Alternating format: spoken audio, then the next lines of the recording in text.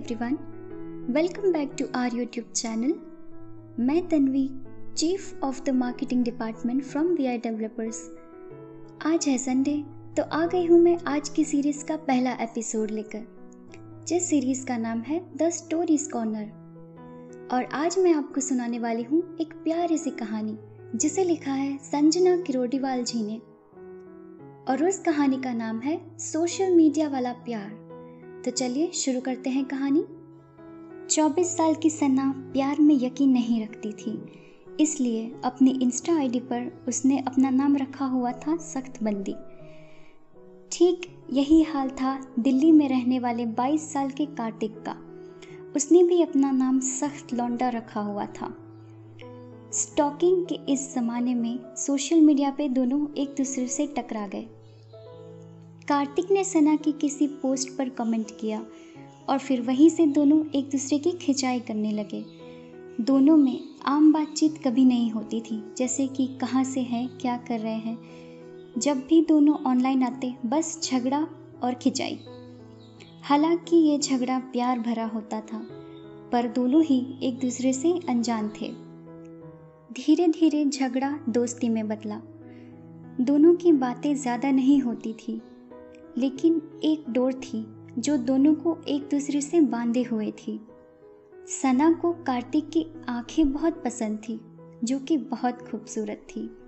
और कार्तिक को सना की मुस्कान, क्योंकि सना की तस्वीरों में सिर्फ़ एक तस्वीर ऐसी थी जिसमें वो मुस्कुरा रही थी, जो कि कार्तिक की मनपसंद तस्वीर थी। वक्त गुजरता गया, पर अभी भी दोनों में वैसे ही खामोशी रहती थी। जिसकी वजह शायद वो दोनों ही नहीं जानते थे। सना को अपनी तस्वीरें शेयर करने का शौक था, लेकिन कार्तिक को नहीं। हाँ वो अपने आर्ट वर्क की तस्वीरें ज़रूर डाला करता था। दोनों एक दूसरे से दूर दूर थे, लेकिन इंटरनेट की वजह से दोनों को ही दूरियों का एहसास नहीं होता था। दोनों का ही एक कॉमन फ्रेंड था, प्रतीक। प्रतीक को लगता था कि इन दोनों में ज़रूर कुछ ना कुछ है। क्योंकि जब कार्तिक और सना प्रतीक से बात करते थे, तब दोनों ही एक दूसरे के बारे में ज़रूर पूछते थे। एक दिन कार्तिक ने सना की एक तस्वीर देखते हुए कहा, यार, ये कितनी खूबसूरत है। इसे देखा तो मैं देखता ही रह गया। ऐसे तो तुझे इससे प्यार हो जाएगा, प्रतीक ने कहा। नहीं यार, ऐसा कुछ नहीं है। अच्छी फ़ोटो है, कार्तिक ने कहा। फट्टू है तू। कहता क्यों नहीं उससे पसंद करता है? पसंद करता हूँ, बस। इससे ज़्यादा कुछ नहीं। रहने दे रहने दे। सब दिख रहा है, क्या है, क्या नहीं है। प्रतीक ने कहा। प्रतीक ने उस रात सना से भी इस बारे में बात की। लेकिन सना का भी जवाब वही था, जो कार्तिक का था। उसके मन में भी ऐसा कुछ नहीं था, या फिर शायद वो जताना नहीं चाहती थी। दोनों की बात सुनकर कार्तिक को बहुत गुस्सा आ रहा था, क्योंकि वो दोनों के मन का हाल बहुत अच्छे से जानता था, लेकिन दोनों ही उसके सामने मानने के लिए तैयार नहीं थे। दोनों के बीच खामोशियाँ ऐसी ही थी, जैसे दो साल पहले। इन दो सालों में काफ़ी कुछ बदल चुका था। कार्तिक के पास अब एक अच्छी जॉब थी। उसका खुद का आर्ट वर्क था। इन दो सालों में बस कुछ मैसेजेस थे। जिनमें शायद दोनों ने एक दूसरे का हालचाल पूछा होगा। दोनों ने ना कभी एक दूसरे की आवाज़ सुनी और ना कभी मिले। दोनों ही एक दूसरे का नंबर मांगने से डरते थे। आजकल के इस स्ट्रेट फॉरवर्ड ज़माने में ये दोनों बुद्धू काफ़ी पीछे थे। एक दिन सुबह जब कार्तिक उठा तो उसके पास सना का मैसेज आया कि वह दिल्ली आई हुई है। रेलवे स्टेशन पे है और उससे मिलना चाहती है। कार्तिक उठा और जल्दी जल्दी तैयार हुआ। उसकी आँखों की चमक और चेहरे की खुशी से ही पता चलता था कि वो सना से मिलने के लिए कितना उतावला है। वो जल्दी जल्दी स्टेशन पहुँचा और इधर उधर देखने लगा। वह एक प्लेटफॉर्म पर गया और जैसे ही वो दूसरी ओर जाता, दोनों के बीच से एक ट्रेन गुजर गई। कार्तिक ट्रेन के गुजरने का इंतज़ार करने लगा। ट्रेन के जाने के बाद जैसे ही उसने सामने देखा तो सामने वो खड़ी थी, जिसके लिए इतनी सुबह सुबह वो यहाँ आया था। कार्तिक सना के पास आया। थोड़ी देर तक तो दोनों एक दूसरे को देखते ही रहे। कार्तिक उसकी मुस्कुराहट को और वो उसकी आँखों को। मुझे तो यकीन ही नहीं हो रहा है कि तुम मेरे सामने हो। और नहीं तो क्या, मेरा भूत खड़ा है? अरे नहीं मतलब अगर पहले कह दिया होता तो मैं मैं तुम्हें लेने आ जाता। रिलैक्स। सना ने कार्तिक का हाथ छूते हुए कहा। चाय? कार्तिक ने अपने सेहरन छुपाते हुए कहा। दोनों टी स्टॉल पर आए और चाय पीने लगे। कार्तिक की नज़र बार बार सना पर चली जाती। ये देखकर सना ने कहा, क्या हुआ? ऐसे क्यों देख रहे हो? तुम्हें पहली बार देखा है। कार्तिक ने कहा पहली बार क्यों? फ़ोटो तो कई देखे हैं तुमने, सना ने कहा। तस्वीर और हकीकत में फ़र्क होता है, कार्तिक ने कहा। तो सना मुस्कुरा दी। दोनों खामोश खड़े हुए चाय पीते रहे और स्टेशन से बाहर आ गए। कार्तिक अपनी बाइक लेकर सना के सामने आया। सो अब अब क्या? दिल्ली घुमाओ मुझे और क्या? ठीक है तो आजा फिर, कार्तिक ने कहा। तो सना कार्तिक के कंधे पर हाथ रख के उसके पीछे बाइक पर बैठ गई। कार्तिक बहुत खुश था। उसने सना को घुमाया। दोनों ने साथ साथ खाना खाया। फिर सना ने कार्तिक के लिए एक घड़ी खरीदी और उसे अपने हाथ से पहना दिया।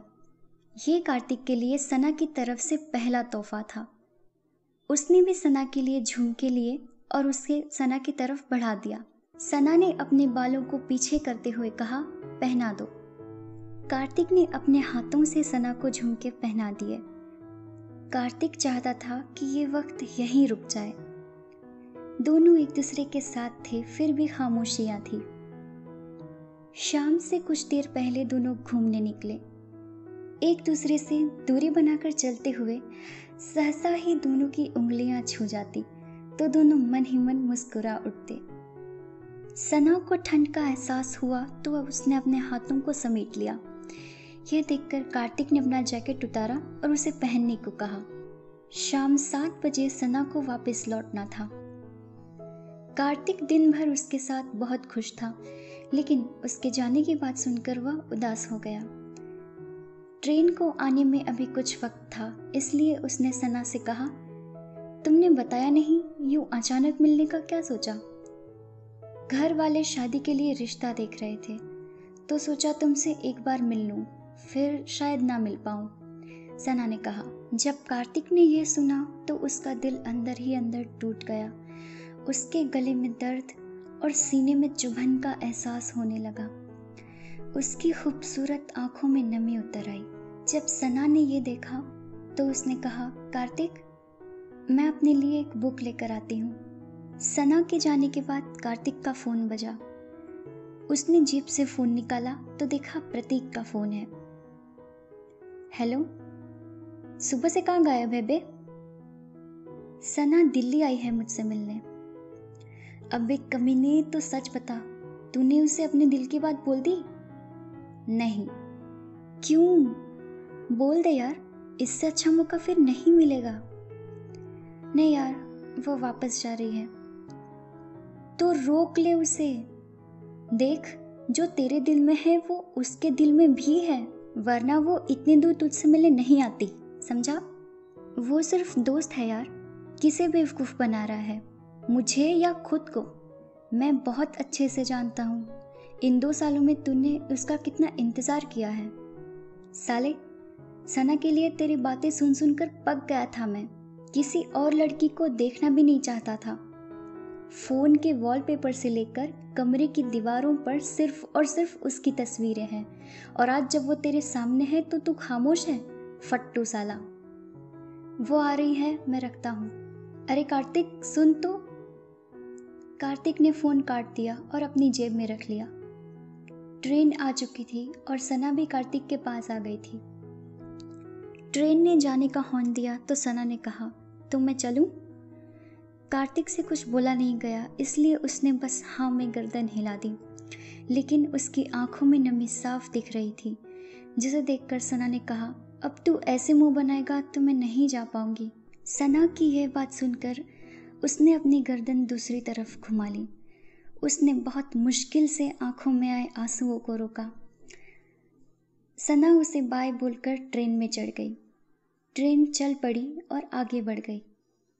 कार्तिक सर झुकाए नम आँखों से जाती हुई ट्रेन को देखने लगा।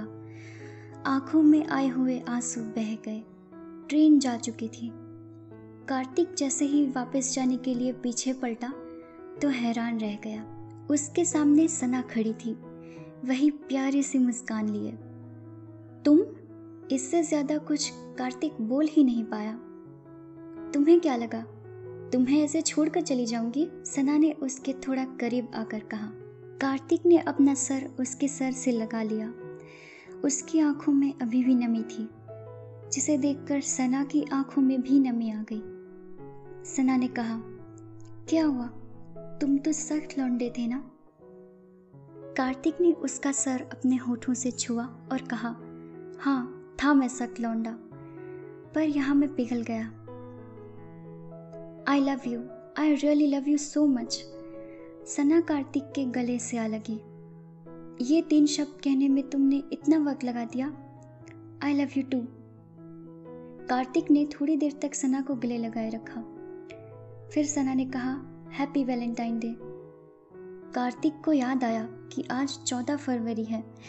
उसने धीरे से कहा हैप्पी वैलेंटाइंस डे तो दोस्तों इसी के साथ ये कहानी ख़त्म होती है। आपको ये कहानी कैसी लगी, ये हमें कमेंट बॉक्स में ज़रूर बताना। और अगर आपको ये कहानी अच्छी लगी है तो प्लीज़ इस वीडियो को लाइक किए बिना मत जाना। और हाँ अपने दोस्तों के साथ शेयर भी करना। और अगर आपके पास कोई अच्छी सी कहानियों के सजेशंस हैं तो भी हमें ज़रूर बताइएगा। ओके देन, मिलते हैं आपसे अगले एपिसोड में। Till then bye